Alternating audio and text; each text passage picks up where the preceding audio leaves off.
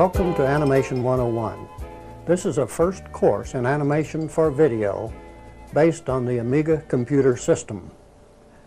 It's in two parts. The first part, we're going to get an introduction to the system and see some of the exciting animations that it's capable of doing. In the second part, we're going to go into detail on some of these animations that you've seen and show you exactly how they were made. And since the Amiga has a voice of its own, I'll let it introduce itself. Okay? Okay. But I saw what you did. I am an Amiga 2000 personal computer.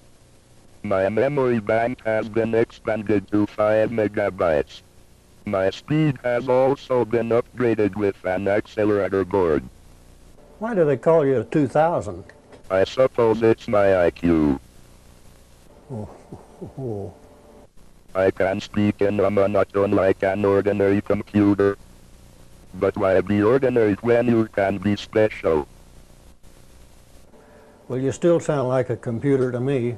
Yes, but with a sound digitizer. Hold up a sound digitizer, please. Hey, how'd you do that? You're supposed to be the expert. You figure it out. Oh, yeah. Hold up a sound digitizer, please. With the sound digitizer, I can sound like anyone I choose. Hey, that's my voice. Disgusting, isn't it? Well, at least I have character. Well, well you, you want character, Harvey? Well, well, how's this for character? Who said that? Well, I said that. Uh, what do you want, a, a program or something, for heaven's sakes? Not bad. In fact, that's pretty good. You want something really good? Come up and see me sometime. That's great. But we need to move on to something else now. Touch me there, big boy, and we're engaged. We really need to move on to something else now. okay, maestro. You can select an instrument and play it on my keyboard. I like the flute.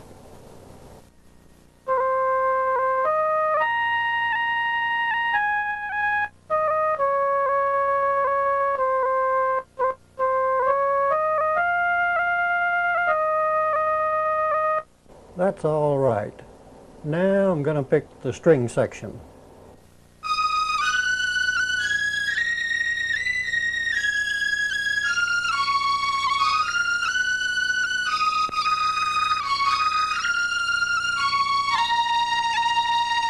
Let's try two instruments. An acoustic guitar on the top and a banjo on the bottom keys.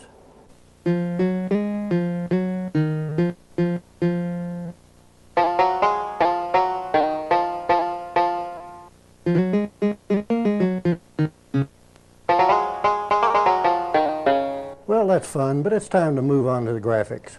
Wait, I haven't played any music. Lower your voice. I haven't played any music.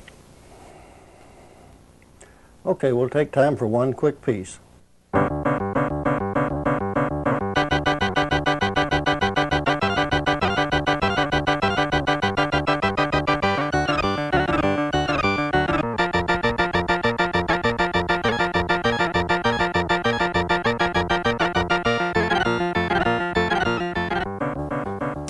Shows off every chance he gets. It's what I do best.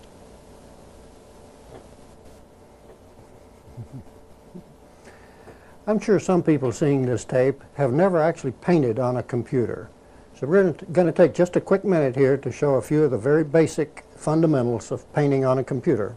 Most people paint with a mouse. Now if you're saying that doesn't look much like a mouse, okay, get yourself a dust cover to go on it, and that'll help that illusion. I'm going to use a split screen to show how the mouse works. Ordinarily, you paint by pressing the left mouse button and moving the mouse around. You can erase by pressing the right button. Or you can come down to the palette, select a different color, and you can paint with two different colors. These are the sizes of brush that you can select. Yeah, it's a smaller one. These are the basic tools that you have to work with. We've been freehand drawing. You can also draw a straight line by marking the two points and it automatically draws in between. Or you can, mar- or you can draw a curved line.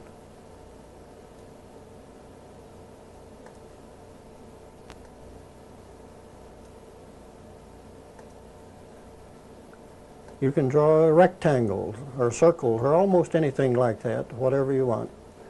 And you can fill an area. Let's, let's fill this one with brown.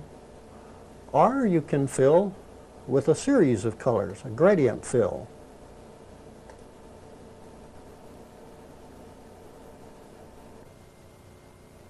And we have a pumpkin.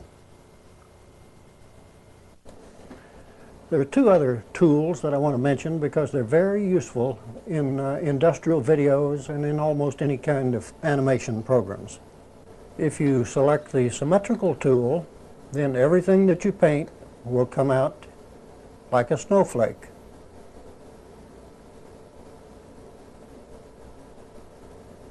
And of course you can use the other tools along with that, like the fill,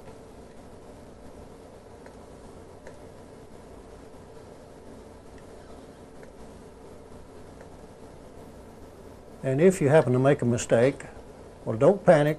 Just hit the undo button and it will undo the last thing you painted. You can also clear the screen. And if you do that accidentally, hit undo and it will undo the clear. The other feature is color cycling. I'm sure you've seen moving lines. This is nothing more than color cycling. It's extremely useful in industrial programs. It can show the flow of hydraulic fluid in machinery. It can show radio signals from a tower. And it can show electric fields around a wire. These gears illustrate both tools. The teeth on each gear was painted with the help of the symmetrical tool. Now I've picked up the whole thing as a brush and now I'm going to paint a straight line with it.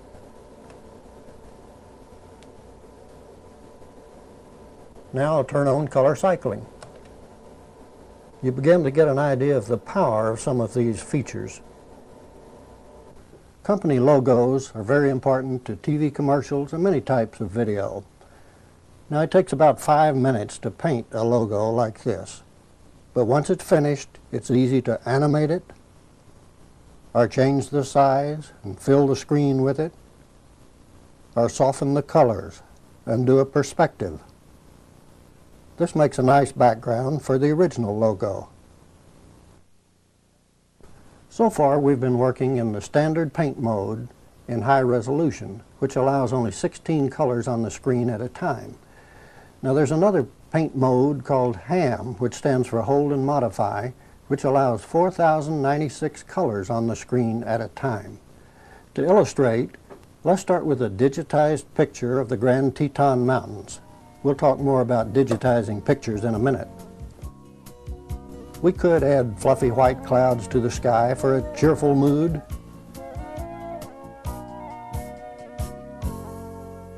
But let's see if we can completely change the mood of the scene. We'll add an overcast sky.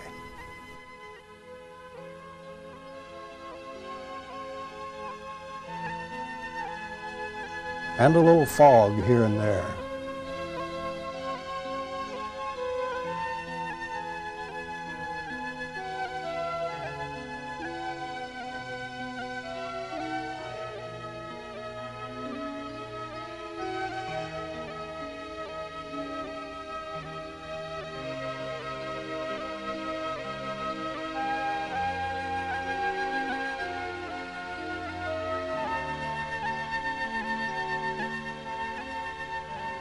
A scene that spooky, we've got to have a monster.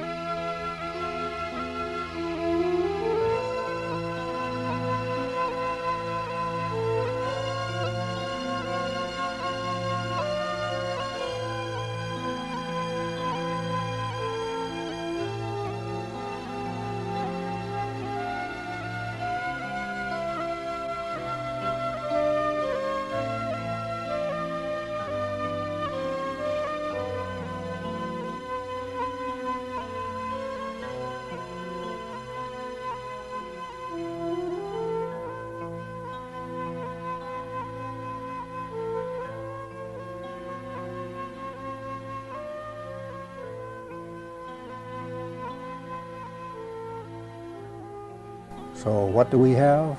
The Loch Teton Monster. And what's a monster without a pterodactyl?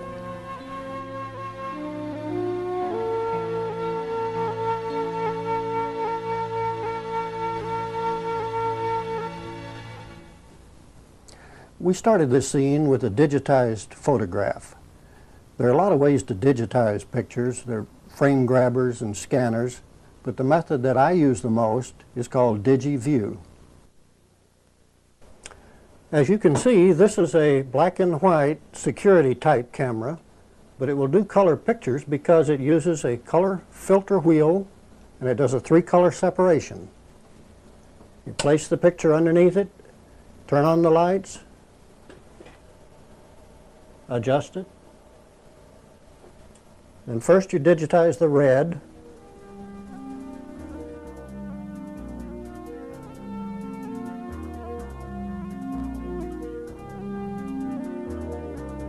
Then change to the green filter and digitize green.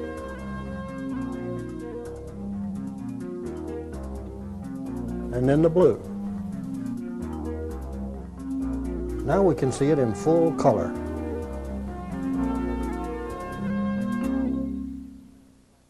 Of course, you can also digitize black and white pictures. Then you can add color. You can increase the blue and make it look like a moonlight scene.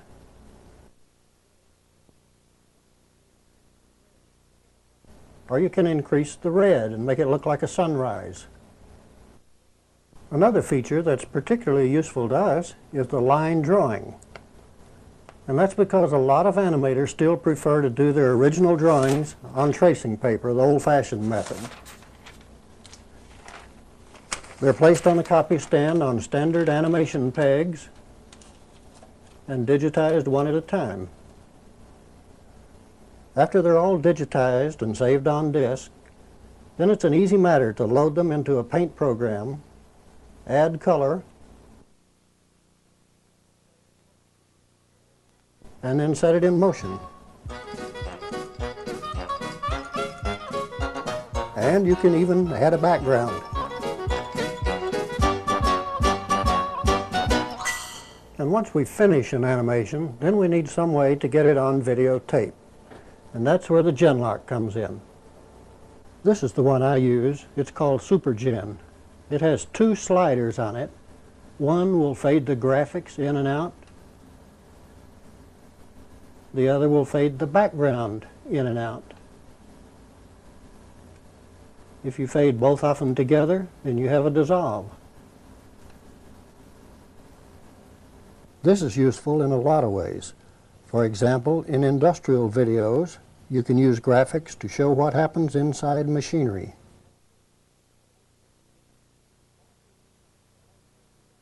It's also useful for home videos, like when your mother-in-law wants to see your vacation pictures, but you went to the French Riviera. How are you going to show that to your mother-in-law? With animation.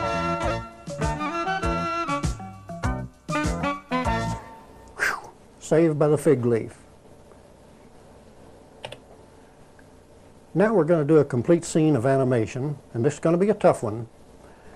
You know, if you drive along in a car and look out the window, you see things moving by at different rates. Things in the distance will be going very slowly. Things up close will go fast. This is what gives it the feeling of depth. We're going to see now if we can get this same feeling of depth in an animation scene. First, we draw the background scene, the things off in the distance.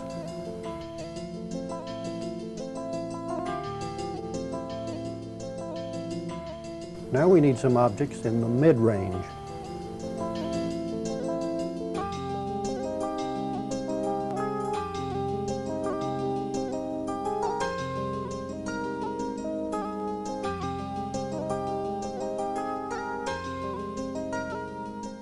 finally, some foreground objects.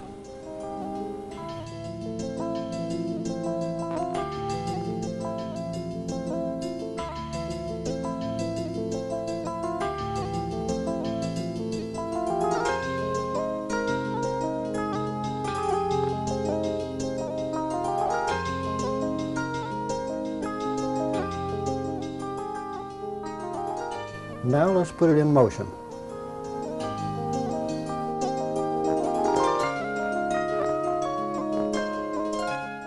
Well, I think we got the feeling of depth in that. What we really need now is a cartoon character to move along in our scene. Now, if you happen to use Deluxe Paint 3, you've probably noticed a juggler on the cover. And strangely enough, he looks a lot like Dan Silva, the creator of, of uh, Deluxe Paint. Well, let's digitize the juggler, add color, do a little extra artwork here to make a series of it so we can animate it and then put him in the scene.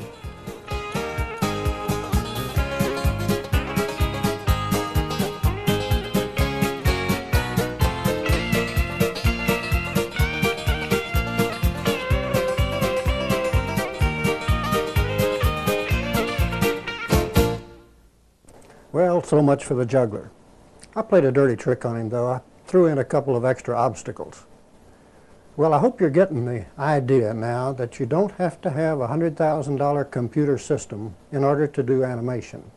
As a matter of fact, with a personal computer like I have here, or even a smaller one, you can do a tremendous amount of animation right in your own home.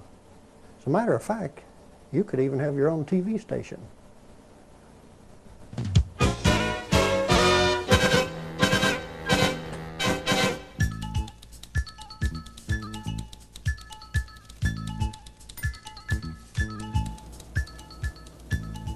Thank you for joining us. This is RAM 3 News, and I'm Scoop Richardson.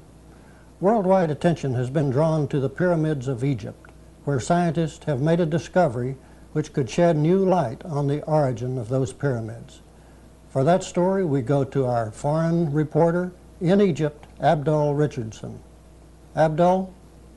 Thank you, Scoop. I'm standing here at the edge of the Great Sahara Desert. And believe me, these pyramids are magnificent.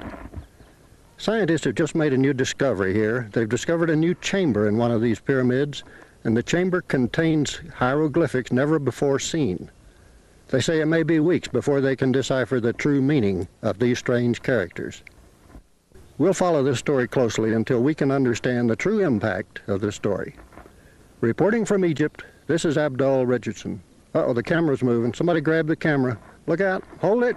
Oh, forget it. I'm out of here. We apologize for the technical difficulties in bringing you that story. On the national news, a mystery is unfolding in South Dakota in the vicinity of Mount Rushmore. Several tourists have reported hearing strange sounds drifting down from the mountain. We have a crew on the scene there. They're going to zoom in with their cameras onto the mountain along with the long-range microphone and see if we can pick up anything. Where's the team that can't be beat? Who are the guys they can't defeat? We're talking about dudes with lots of sense. It's gotta be us, the presidents. Well, alright. Well, alright.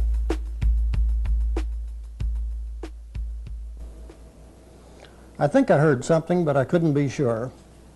What will the weather be like? Wendy Richardson is standing by, outdoors, where the weather is happening.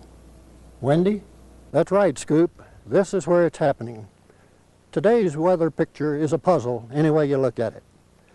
But after analyzing all the information, the pieces are finally beginning to fit together. There's a thunderstorm sweeping across the western plains. A twister has been sighted on the ground. Fortunately, the only injuries reported have been dislocated hips and a few damaged eardrums. And I'm not sure what that is, but it looks like a very large snake crawling from coast to coast. But the thing that gives us the greatest concern at this time is the entire nation is being pelted with baseball-sized white numbers. Wendy's weather has the seal of approval of the Meteorological Society. Turning now to the local news, the giant ape, Bing Bong, is on the loose again and is creating havoc in the downtown area.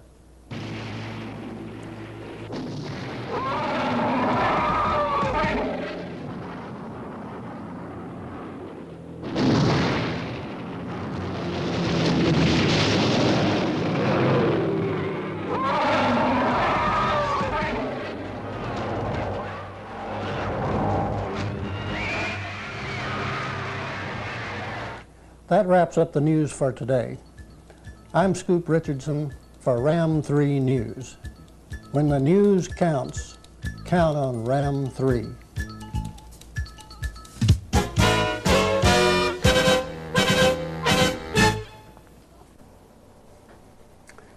Well, if television is not your thing, what you really want to do is make a movie, go ahead.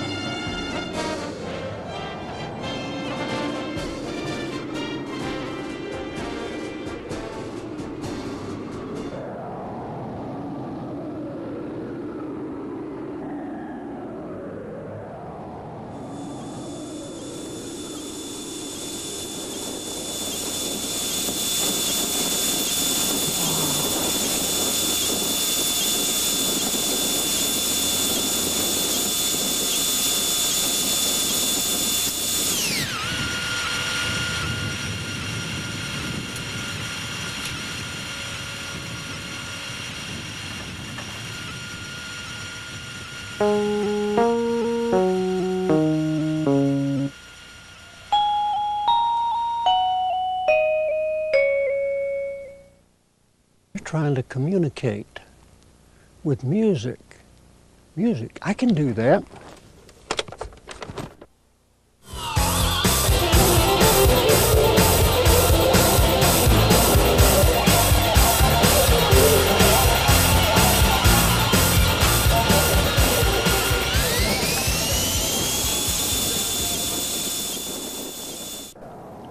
My mission on this planet's complete.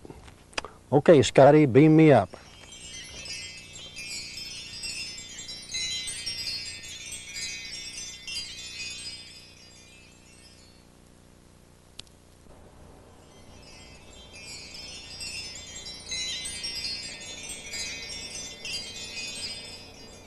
Ooh, that tickles, but it sure beats riding the bus. Well, this brings us to the close of part one.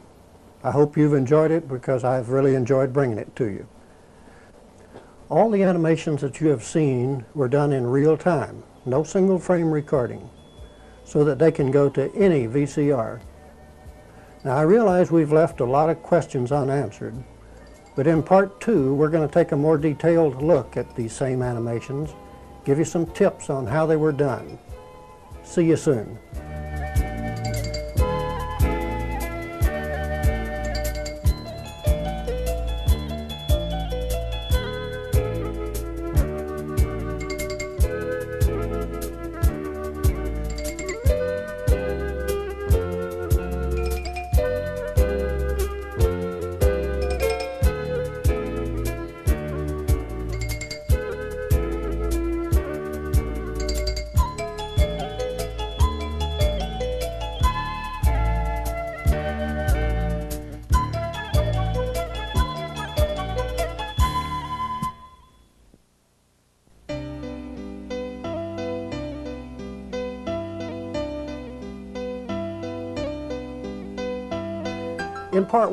We explored a lot of different animation techniques and we had a little fun with it. Now in part two, we're going to get serious. We'll take one topic at a time, beginning with video editing. We'll start with the beam me up effect. To paint the beam, pick a color that's in a cycle, select airbrush, press F7, and give it a burst of colors. Now pick that up and use it as a brush. Run the background scene and spray the beam everywhere it's needed to cover the subject.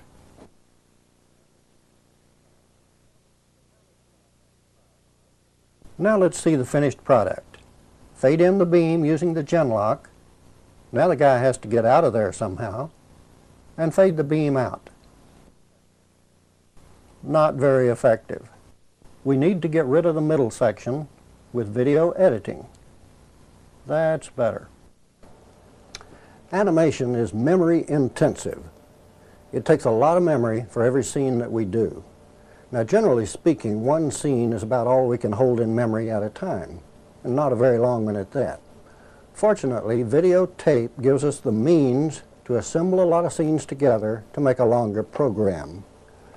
Now this is a U-matic 3 quarter inch videotape cassette.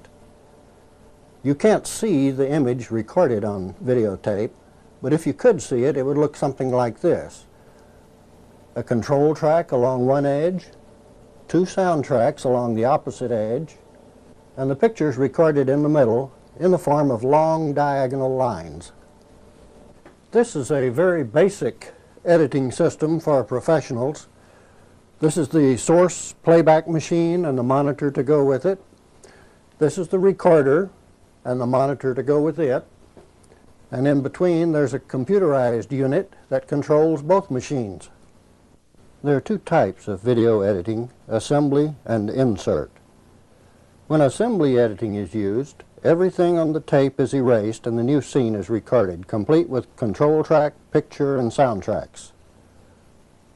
When insert editing is used, it will record a new picture, either soundtrack, or any combination of the three, but it does not record the control track. The control track must be recorded in advance. The way to record a control track is to hook up a camera, but leave the lens cap on so you won't get any picture, and unplug the microphone if you can so you won't get any sound. Then turn on the recorder. Normally the control track is recorded the full length of the tape. Then the tape is clearly marked so it won't be erased accidentally and use a new tape because it'll erase anything that might have been previously recorded on it. Insert editing is the preferred method. The reason is because the control track is recorded uninterrupted, the edits are likely to be smoother.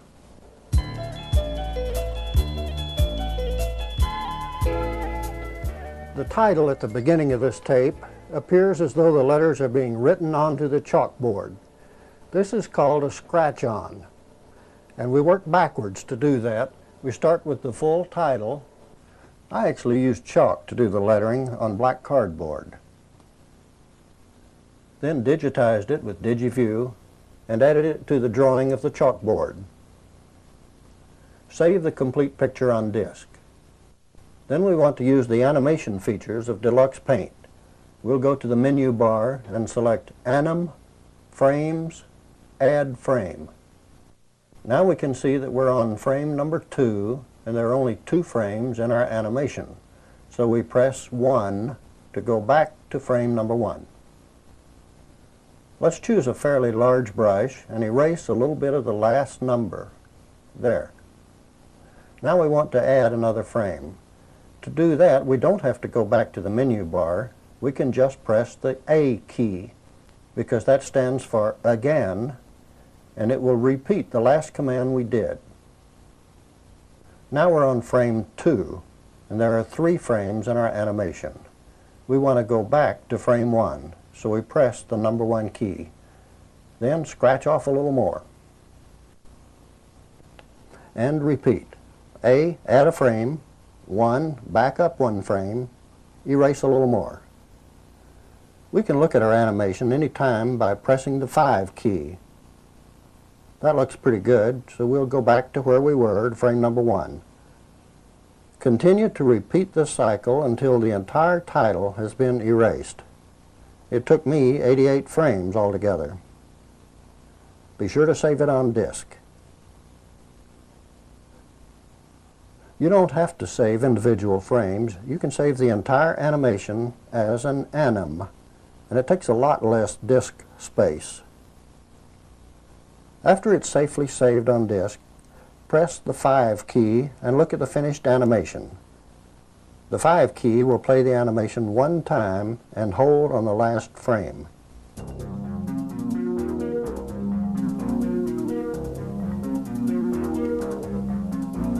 When you look at pictures painted in the ham mode, you might wonder why would anybody go back to the standard paint mode. Sure, ham pictures can be beautiful, but there are limitations. you give up color cycling. But the greatest drawback for animators is the excessive amount of memory that they use, generally too much for real-time animation. Ah, but don't overlook ham pictures for background scenes. The pterodactyl was painted in the standard paint mode and added to a ham background with a Genlock. We saw one way to create a ham picture by digitizing a photograph. Another way is with 3D solid modeling and ray tracing programs. Or we can simply import a picture from a standard paint program and enhance it with ham.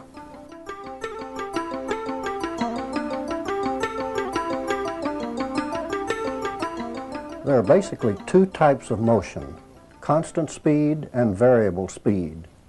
We'll illustrate the two types by moving an object from point A to point B. In constant speed, we can simply divide the distance into equal segments so that the ball moves the same distance on every frame. In motion, it looks like a ping pong ball. In reality, not many things move that way. Most things start moving slowly and build up speed, and they slow down before coming to a halt.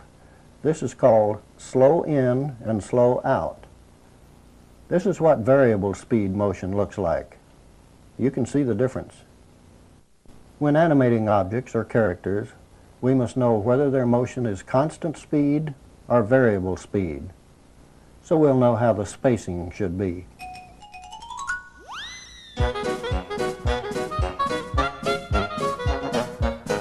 I said earlier that some animators prefer to do their original drawings on tracing paper.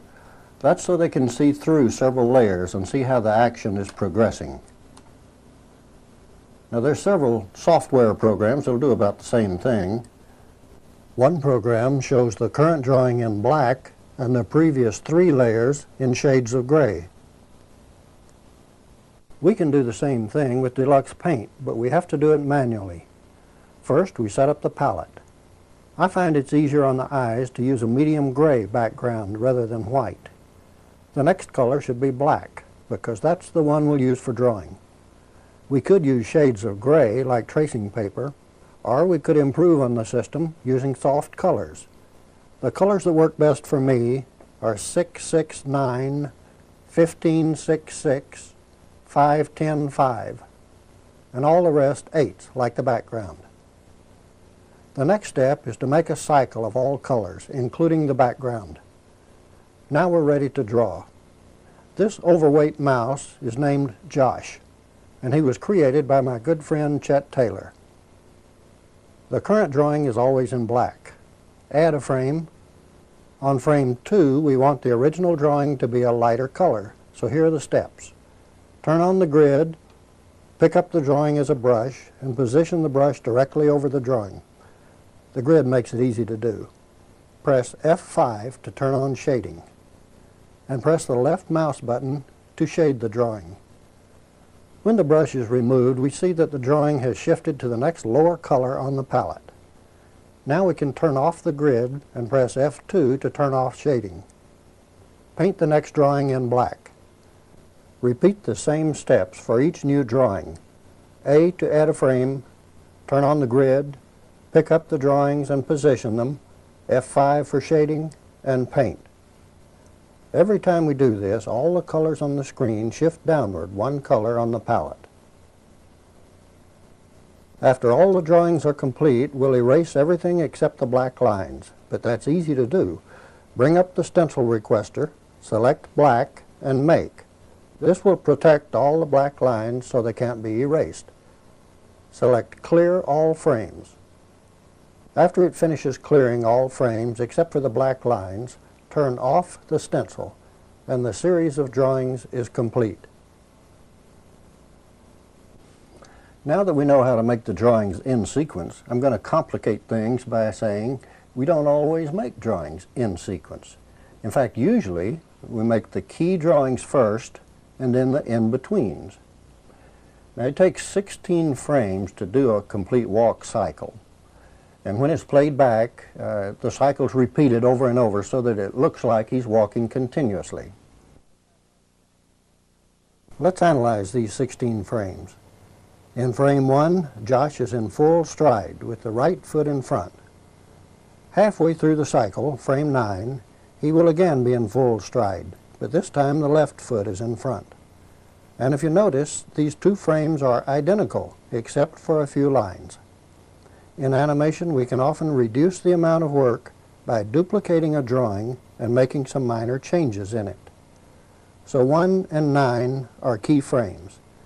The only other key frame will be 5, halfway between 1 and 9. This is where the leg is straight down.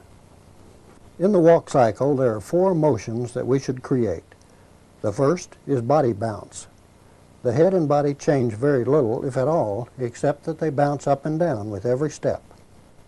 When Josh is in full stride, the head and body are in their lowest position. When one leg is straight down, the head and body are in their highest position. Other frames show a gradual change of position.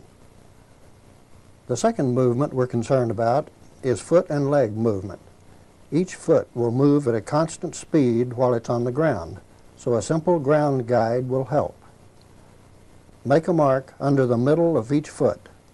Then divide this distance into eight equal moves. Draw one foot through the complete walk cycle and connect the foot to the body with the right leg.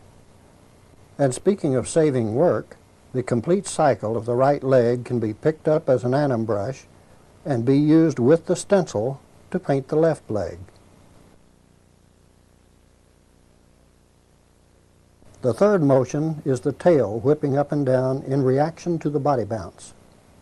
The end of the tail follows the body up and down about two frames later.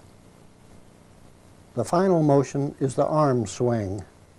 The arms swing back and forth like a pendulum so we can draw the first nine frames of the right arm, then pick them up and use them in reverse order for the last half of the cycle.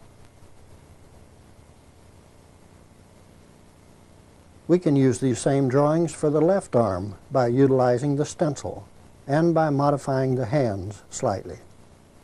This completes the walk sequence. It's a good idea to save both color and black and white versions. The color walk sequence should also be saved as an anim brush.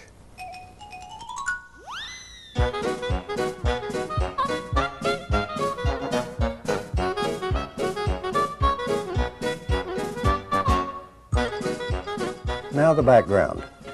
Did you notice that the background scene is only a single drawing with color cycling? Well, it is. Let's erase the moving floor and do it again. We'll make a cycle out of the last eight colors in the palette. By the way, this palette does not have to be the same one that we used in the Josh Walk animation because we're going to record it on videotape separately. Then when it's played back into the Genlock, Josh will be added. Select the largest square brush and enlarge it more by pressing the plus key several times. Select the first color in the cycle. Press F7 so the brush will cycle through the colors. Paint a series of colors side by side.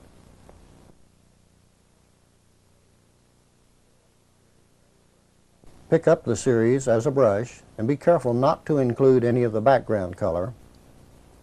Select Effects, Perspective, Center and place the point of infinity about where you estimate the horizon to be in the background scene.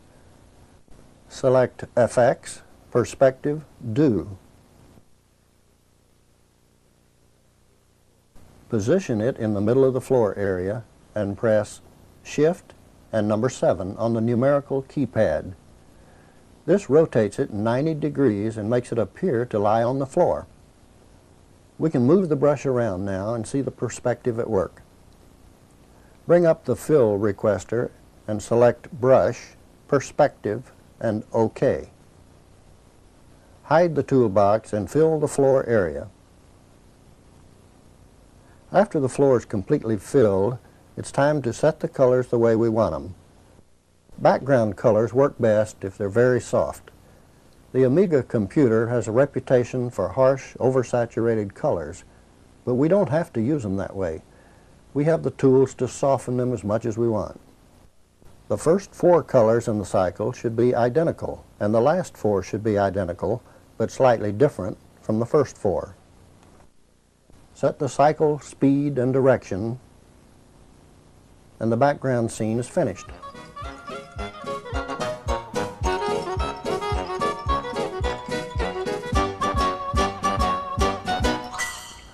Moving background is one of the important basic moves in animation, and usually color cycling just won't do it. The background has to actually move. Unfortunately, most of the animation software programs have no provision for a moving background. One program that does have that is Deluxe Video 3, and it can move the background in any direction and any speed. The hieroglyphic scene was done that way.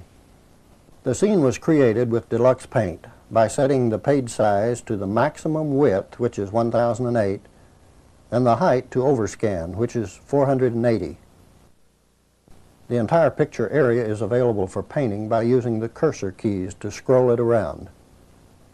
The picture was saved on disk and loaded into Deluxe Video. The movement was controlled by a scroll requester. It was set to move one pixel on the x-axis every two jiffies. The term jiffy came into use strictly for computer animation, and it means simply one half frame of video or one sixtieth of a second. Two jiffies equals one frame of video or one thirtieth of a second. When the scene is played back, the scroll is very smooth.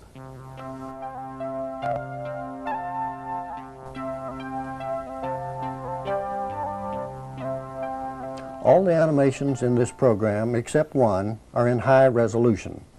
Now, I strongly recommend high resolution for any animations that are made for professional use. And the reason is simple, because low res looks amateurish. If we want our work to be accepted by professionals, we have to meet their standards, which means not only high resolution, but also overscan. Now the one scene in this program that's in low res is the juggler. Because of the complexity of the scene and the length of it, it took all five megabytes in this computer just to do it in low res, even without overscan. But that's all right because it's only a, a training exercise. Before starting a scene this complex, we should organize the palette. Let's reserve the first column of eight colors for the juggler. The last column of eight colors will be reserved for the foreground objects, so we can make a stencil out of them. That leaves the middle 16 colors for background and midground objects. It'll be easier in the long run if we paint all the parts first, then we can assemble the scene without interruption. The background is painted first and saved as a low-res picture. Now we can fix the background, paint each object, pick it up and save it as a brush. The juggler will be an 8-frame anim brush. Free the background, clear the screen, and make the first drawing of the juggler. Press Shift-J to copy it onto the spare page. Erase everything that will be in motion, leaving only the head, body, and unicycle. Set the frame number to 8. Go to frame 1, then the spare page, and copy the full drawing onto frame 1. It's probably easier to draw the leg positions if all eight drawings are laid out on the spare page. Then they can be picked up one at a time and placed on the proper frame. The balls are next. Pick up one ball, fix the background, and paint the new balls halfway between the old ones. If we flip through the pages, it looks like the new balls are painted on all frames, but don't be confused by that. They're not actually painted on any of the background frames. To help understand what's going on, think of it this way. When we fix the background, it's as though we create a new foreground screen to work on, completely separate from the background screen. Then we can flip through pages on the background screen without affecting what we've painted on the foreground. This is another powerful tool that makes life easier for the animator. Now we can place the balls that we painted on the foreground screen anywhere we want them. Go to frame 5, free the background, and now the balls are a permanent part of that frame. The balls and arms can be painted on the rest of the frames the same way. Pick up the juggler sequence as an anim brush and save it on disk. Do you remember when the juggler went through the loop? This same juggler anim brush can now be used to create the 360 degree loop. Clear all frames and set the number to 32. Go to frame 1. Paint the first frame, undo, and go to the Move requester. We want it to rotate minus 360 degrees on the Z-axis in 32 frames. When complex objects like this are rotated, the lines are quite rough, especially in low res. It would be a major project to manually clean up all lines on all frames, but in an important animation it might be worth the effort. These 32 frames are now picked up and saved as an anim brush. Now that all the parts are finished, we can start assembling our scene. What we're going to do is make two copies of this background and attach them together to form a very wide background. Pick up the entire background. Clear the screen. Select Anim Frame Set Number and set the number to 200. Press alternate and X to move the handle to the bottom corner of the brush. With the brush handle in the lower right corner, position the background as far down and to the right as it will go. It should cover the entire screen. Paint it there and press the U key to undo it.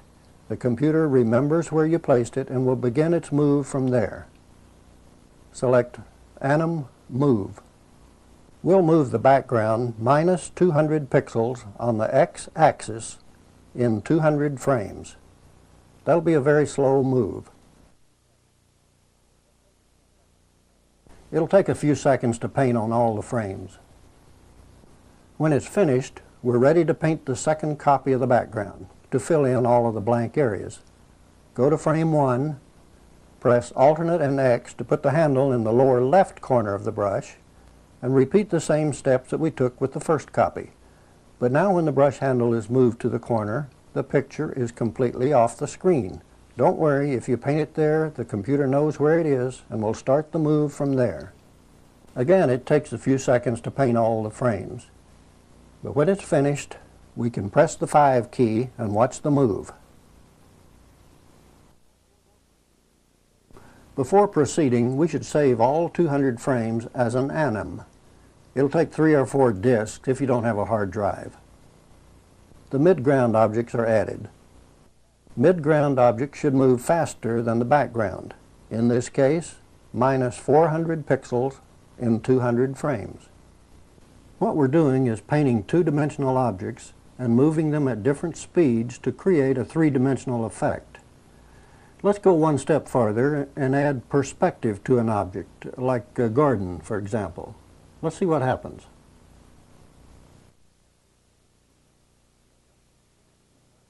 Yes, we can combine perspective with the move requester, and the result is a very effective illusion of depth. Foreground objects move much faster, minus 400 pixels in 50 frames.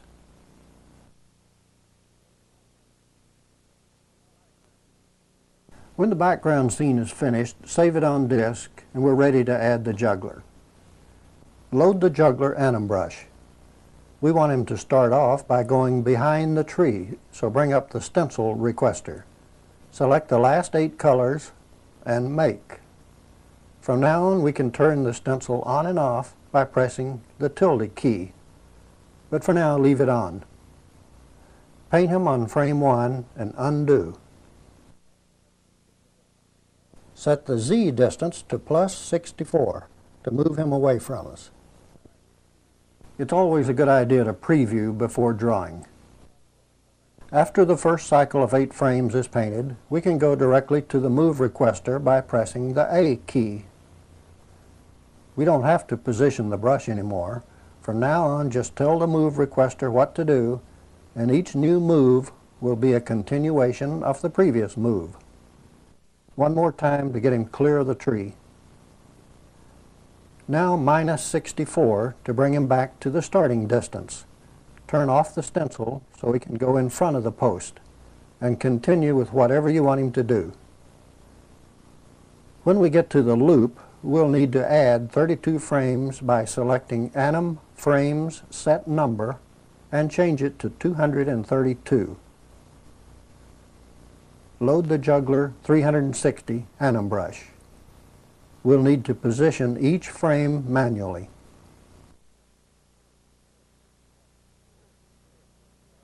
Here are some tips that will be helpful when working with Anim brushes. To paint a single frame, hold down the alternate key first, then the Commodore key. Or if you want to paint several frames, hold down the Commodore key and then the alternate key. It'll keep painting frame after frame as long as you hold down both keys. This works with both a single brush and an anim brush. The Commodore key and the right alternate key work the same way to erase the brush from one or more frames. With this basic understanding of the move requester, you should be ready to finish up the scene in any way that you like.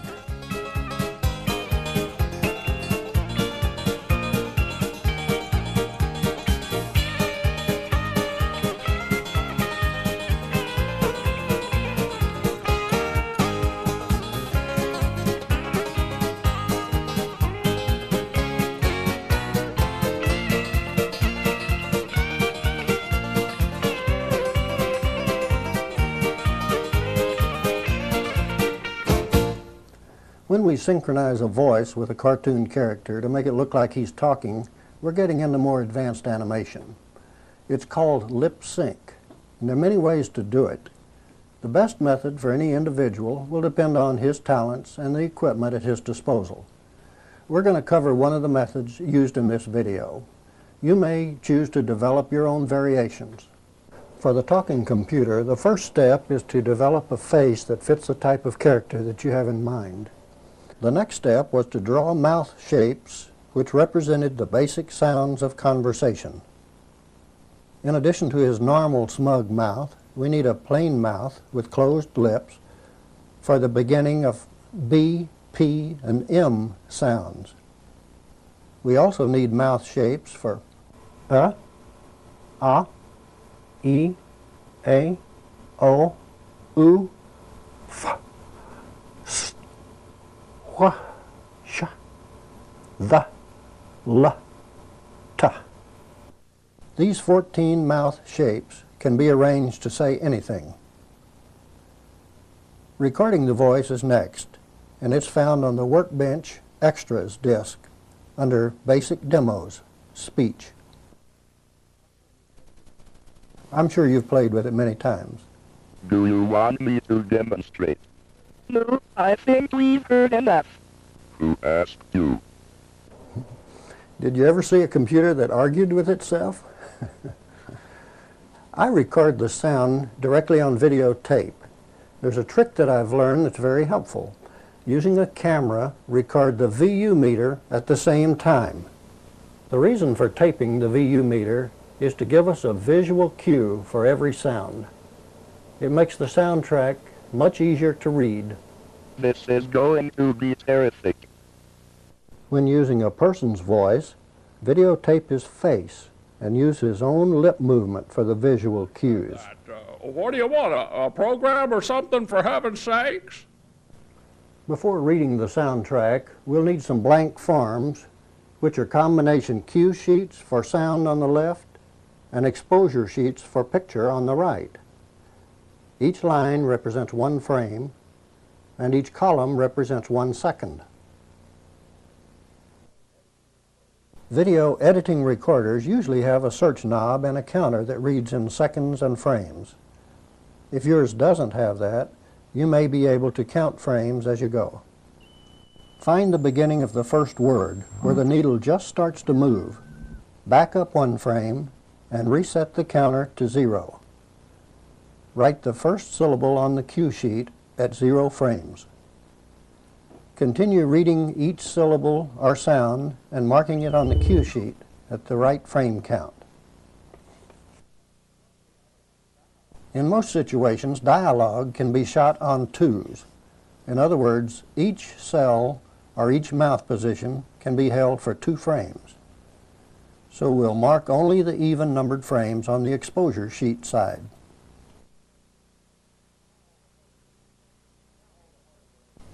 Now all the hard work is already done. The rest is easy.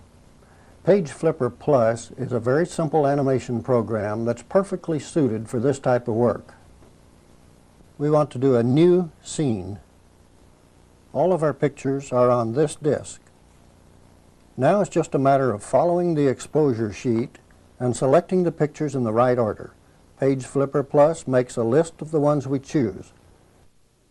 When the list is complete, it will show the full script. The duration of each frame is four jiffies. That's right, because we're shooting on twos. On the last frame, we want to add single step mode on, so it will hold on the last frame. And here we want single step mode off, so it'll play at normal speed again. Select make and wait while it loads all frames.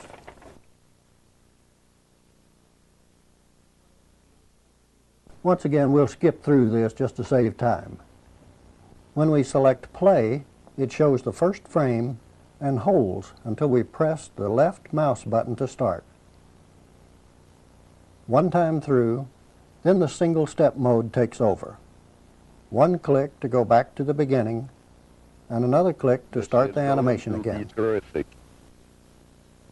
When these scenes were taped, the computer did not really speak, it merely mouthed the words. Then the voice was added by insert editing. If you don't have access to video editing equipment, you can still do lip sync by digitizing the sound and then playing it back through an animation program that will play back both sound and picture. There are several good ones to choose from. Deluxe Video 3 and Cell Animator are a couple. That brings us to the close of Animation 101, Part 2. We haven't covered all the details of all the animations. That would be impossible in a single program. I have tried to cover enough background so that you can fill in the rest of the blanks by yourself. And of course, this is only a first course in animation. Uh, after you learn these basics and master them, you'll be ready for more advanced techniques, like higher resolution, like millions of colors. With the Amiga system, the sky's the limit. Isn't that right? Tell me about it. Thank you for being with us. Good luck and good animating.